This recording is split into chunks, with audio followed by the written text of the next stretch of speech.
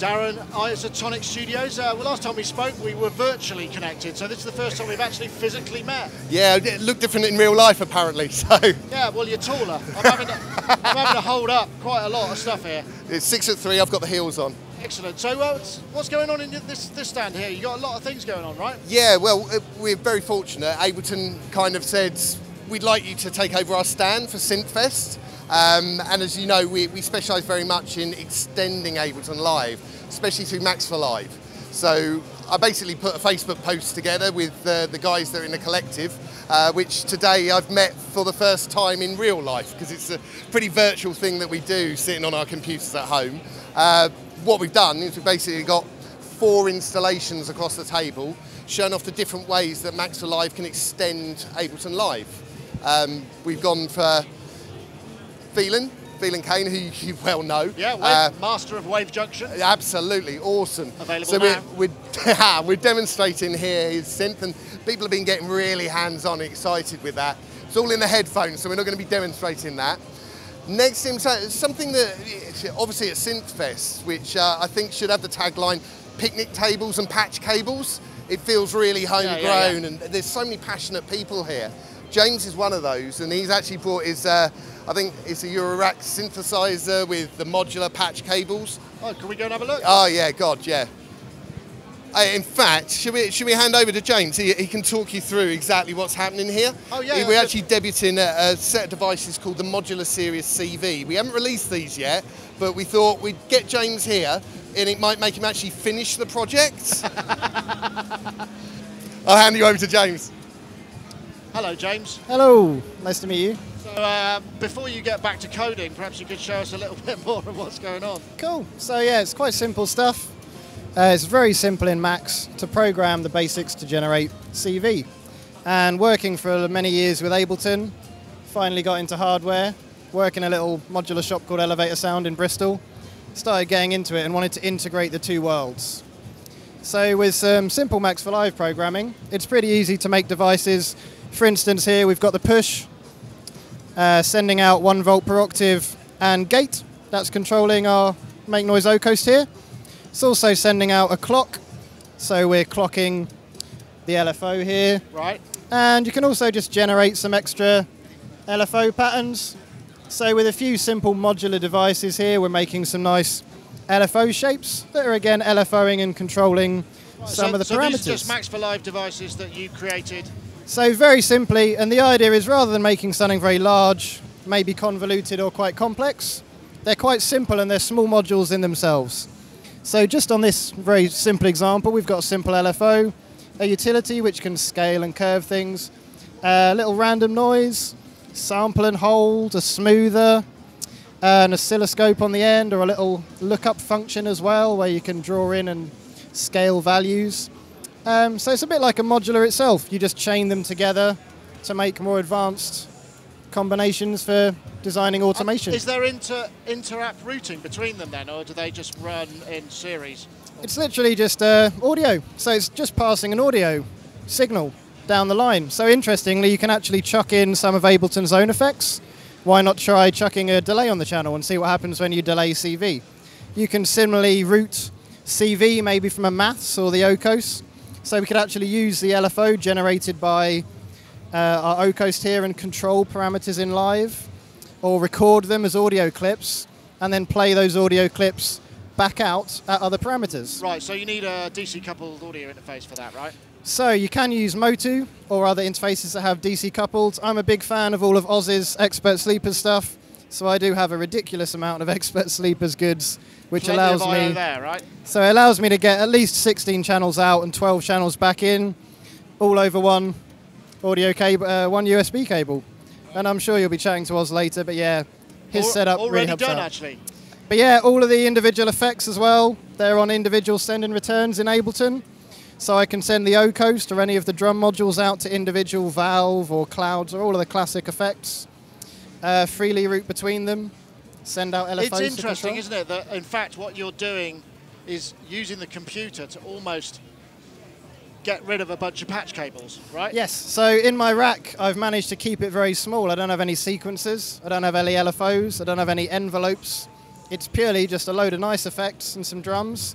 And Ableton, uh, with the help of the expert sleepers, is actually doing all the all the hard work in a way. So is this what you'd use live yourself? Yep. Yeah, this is my live setup for performance uh, when I do solo stuff or when I work with other musicians. Flexible and quite good fun. And these are going to be available uh, sometime As soon, soon right? as they're finished. yeah, I'll be at O- over Ableton Loop with them as well, and then hopefully soon after that. knocking Excellent, thank you very much. No worries. Pass you over Snap. to someone else. Ah, Hello. Mr. Rush, Yes. Mr. Ned How's it Rush. going? It's going very well. Pleased to see you. Uh? I, I've met Ned before because uh, you did uh, a, a gig and I played at. So You did, and you were very full, good. Full disclosure. so, um, what are you showing here then? Because you, Well- you do a load of kind of really interesting, kind of mangling and, and uh, very unusual stuff in Max for Live, right? Yeah. Well, I'm just sort of relaxing here with some of our like visualizers that we make um, that are Max for Live run in Ableton that allow you to do um, you know experimental visuals for your set inside Ableton. Um, I'm currently sort of using uh, three instances of uh, actually two instances of the same device that are uh, kind of geometry, um, OpenGL geometry that's being displaced by audio, um, Sounds quite scientific. uh, sort of amplitude and a little bit of frequency. Um, and so when we started doing these, we only did one device, and everyone came back and said, um, "Can we use more than one in a set?" And we kind of went, "Ah, no, you can't." So we we wanted to try and make something where you could just kind of pull in uh, as many like elements as you want, and so we kind of had to make this viewer window, uh, which is kind of where every each element kind of renders to this uh, context, this rendering window.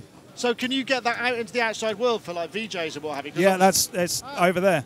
okay, it's I on the screen. It's it's uh, it's obviously you know looking a bit dim because of the lighting, but um, so that's yeah just react. That's actually reacting from uh, Mark's setup here. So we've ra- we've ran him into the mixer, and then I'm running the orcs out into my sound card, which is just coming in on a regular track. So do you? But- I mean, do you find there's a lot of call for it because people are kind of want to run their own uh, sort of uh, uh, audio visuals while they're performing live? Is that how it's? Yeah, yeah. I mean, you can also like record the output uh, via uh, Syphon, which is like a third-party program you have to get.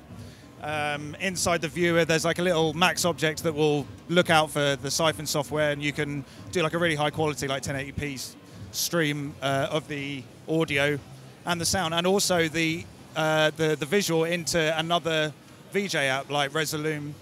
So if you wanted to kind of, uh, if you're using Ableton and Resolume, and you wanted to have some audio reaction coming from Ableton, uh, you could do that way. And also, because it's Max for Live, it's really easy to uh, map everything to like uh, controllers and stuff like the push. Um, so yeah, I mean, it's it's it's kind of uh, experimental. It's um, uh, it's we, we've also got quite a lot of other um, developers coming in. Like we wanted to it to be kind of like an environment where it would be very easy for other people to have their own input. So if you want to like create your own, if you know a little bit about jitter, do visuals in Max. If you get the viewer window and you understand where the rendering context is, it's very easy to just start making your own uh, like visual Max devices really that will run in Ableton. So Right, yeah, excellent. And they can buy all your stuff from iSotonik Studios, right? this is all out now. Yeah, it's all good to go. Yeah, so. Thank you very much. I Who's also hand you over to Mark now. Mark, So, sir. Hello. I've heard a lot about your sequencer. Let's have a look at it. Okay. Uh, so this is the arcade pack. So we've got two packs out. Uh, that one there is actually the free That's Ghost LE. That's a free sequencer that you're seeing now. So you can grab that for free from the iSotonik So website. what's that doing? Because it looks very much like a game of Pac-Man. Yeah, that's what it was inspired by. So you've, you've got the classic Pac-Man maze, uh, and there's no Pac-Man, it's just the ghosts. It's called ghosts. And you basically can set parameters for the ghosts, like how fast they run, their velocity, uh, what kind of octave they're working in, and as they move around the maze, they're triggering notes. So it's like a generative sequencer that you can loop each go, so you can get like loop, uh, sub-looping elements to it as well. So it can be quite random, or it can be quite contained within like a bar or two bars. So you just get it running and they go off, and then Yeah, they can either run randomly like the real game, or you can set loops up. is that what we're hearing out of this speaker? Could you, Uh, we're hearing a mixture. So what we've also got is the art, the full arcade pack, uh, which there's four devices, and they they take over different control surfaces like push, Launchpad and Machine Jam. So what we're seeing on this track here is Space Invaders. That's the device for it. And then we also have it running on the control surface as well. Uh, and this is like a rhythm sequencer. So we get eight independent sequences running and the Space Invaders move from left to right. So you get these interesting rotating patterns that occur every now and again. Again, options to make it quite structured or a bit more random if you want to. Uh, we have Frogger on here. So this is a eight-step gate sequencer. So if I turn this up, and this is driving the Dave Smith Tetra as well.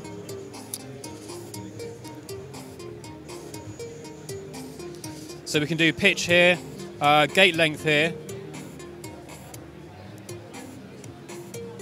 and then things like octave and accents and skip there as well. So these all run on all different control surfaces. Uh, we also have Arkanoid. If I turn Arkanoid up. So in this one we have these kind of shapes bouncing around and you can choose where there's an active step. You can have up to four of these running at the same time. And again, they're all just aimed at coming up with interesting melodic content uh, that maybe you wouldn't if you just sat in front of the keyboard. Um, and again, you can loop sections, you can convert them into clips really easily. So it's just like some tools to kind of get the creative juices flowing. And are you are you accessing uh, the sort of API level, the the Launchpad graphics? yeah, and the, yeah, and it's the, all and the- using the API for push and launchpad and machine jam. Yeah, Right, so you get access. You can get the LEDs to do whatever you want. absolutely. Yeah, I think that's the really fun thing about it is being able to look at these controllers and say, I just want to build something completely unique that does what I want it to do. Here we go. Right. Yeah, And these are all available from iSotonik as well. all on the iSotonik website. Yeah, and uh, what should people look for? What's the who's the what's your developer name? Uh, it's just Mark Towers, and they're called the Arcade Series. Uh, there's uh, there's two packs at the moment, and a couple of free devices as well. Excellent. All right. There's, it sounds like there should be a Facebook meme. Is like, what's your developer name? You take the first letter of your first. Yeah, I need to come up with that. Yeah, something arcade-based probably. Yeah. Okay, thank you very much. Thanks. And so, of course, the uh, the final picture piece of the puzzle is the uh, MetaFunction developer, Mr. Phelan Kane. Hello, Uh, Nick. How you doing? I'm very well. Uh, Excellent.